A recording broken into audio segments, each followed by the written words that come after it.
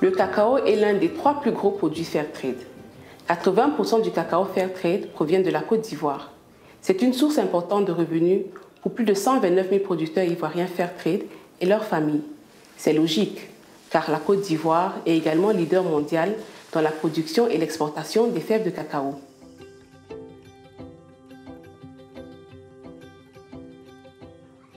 Ils doivent se conformer aux standards Fairtrade. Atteindre et maintenir la conformité pose des défis particuliers.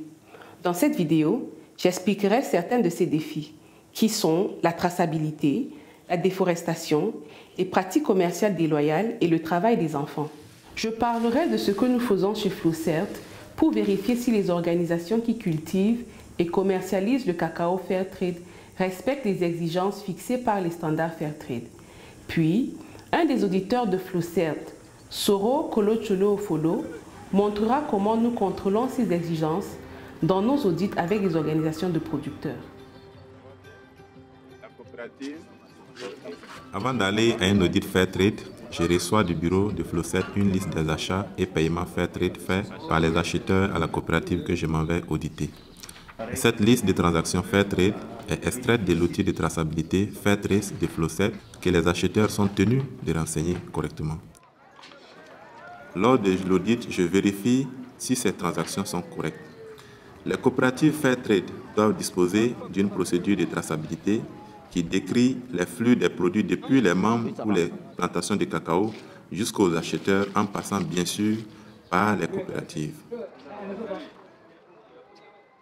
Lors de l'achat du cacao, la coopérative doit remettre un reçu d'achat au producteur.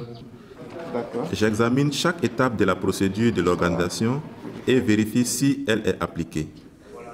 Je visite les plantations de cacao des membres et les magasins de stockage cacao et j'examine les bons de livraison des producteurs et les registres de magasins. J'interviewe l'agent qui reçoit le cacao et les membres qui livrent ainsi que les magasiniers. Je vérifie également comment le cacao des membres Fairtrade est physiquement séparé de celui des non-membres pendant le transport et au sein du magasin.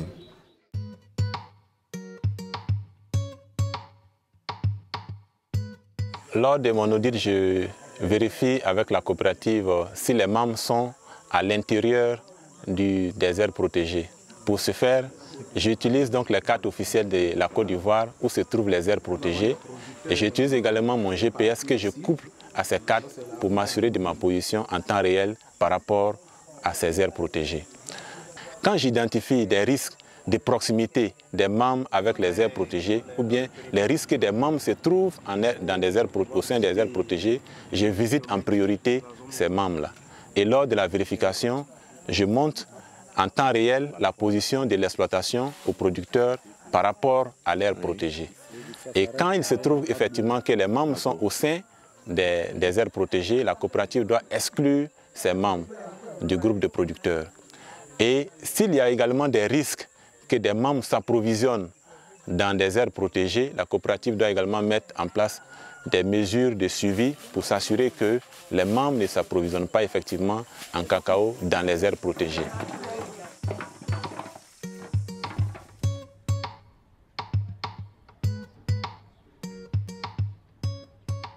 Historiquement, le cacao est un produit pour lequel les acheteurs ont un grand pouvoir commercial sur les producteurs.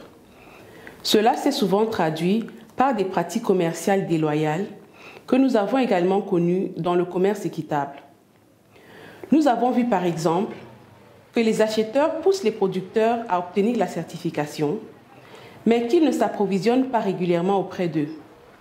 Ou encore que des acteurs commerciaux tentent d'installer et de contrôler des coopératives qui ne sont autorisées à vendre qu'à eux.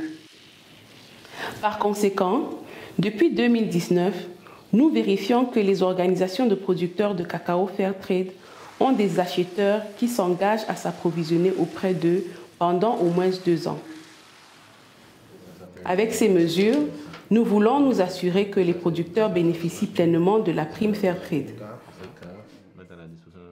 Au cours de l'audit d'une organisation de producteurs, je peux identifier les pratiques déloyales au sein de l'organisation ou subies par l'organisation. notamment en vérifiant si l'organisation respecte les règles relatives aux élections démocratiques et à la prise collective de décisions et en contrôlant également le paiement des prix et des primes. Les producteurs peuvent dépenser la prime Fairtrade pour des projets qu'ils décident démocratiquement, par exemple pour des projets de santé ou d'infrastructure. Je m'assure que la prime Fairtrade a été reçue par les membres et je m'assure également que les activités choisies pour être financées par la prime Fairtrade ont été décidées en Assemblée générale avec l'ensemble des membres. Et je viens en personne pour visiter ces sites comme je le fais actuellement et lors de la vérification, lors de l'audit, j'interviewe également les producteurs pour m'assurer qu'effectivement les activités répondent à leurs besoins.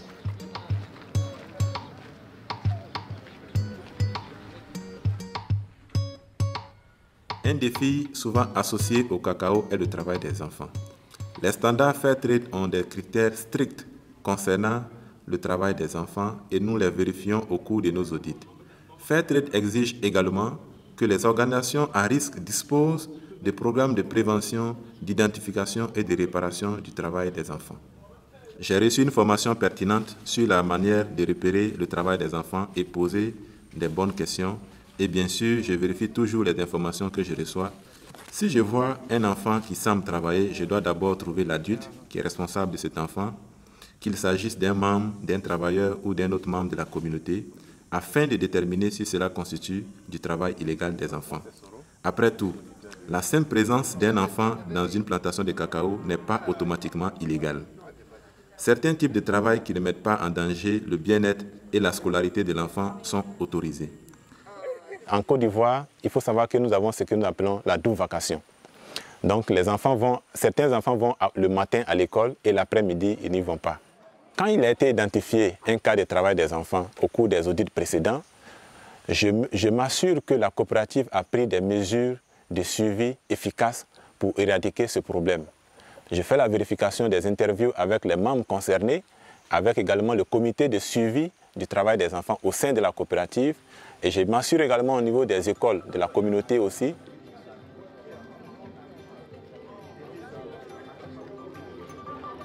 Si nos auditeurs Flosset identifient des non-conformités au cours d'un audit, les organisations de producteurs doivent proposer des mesures correctives. De cette façon, l'identification des non-conformités n'est pas un problème en soi. Il faut bien qu'on identifie des problèmes pour pouvoir proposer des solutions. C'est ainsi que les producteurs peuvent s'améliorer au fur et à mesure.